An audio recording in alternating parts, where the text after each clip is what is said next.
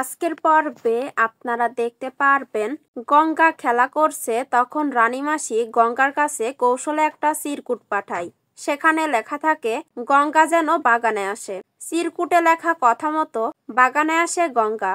তখন রানীমাসি গঙ্গাকে বলে, তোমার কাজল মাসি খুব অসুস্থ, হাসপাতালে ভর্তি, তোমাকে দেখতে চেয়েছে। কাজলের শরীর খারাপ শুনে খুবই ভেঙে পড়ে গঙ্গা।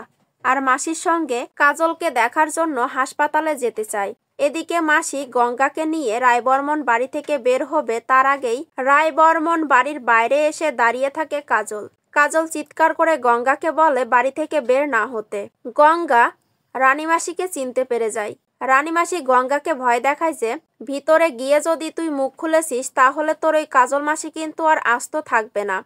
এদিকে বাড়িতে পুলিশ আসে। পুলিশ অফিসার অগ্নিকে জানায় যে তারা যেই আসামিটাকে ধরেছিল, সেই আসামিটা আর বেঁচে নেই।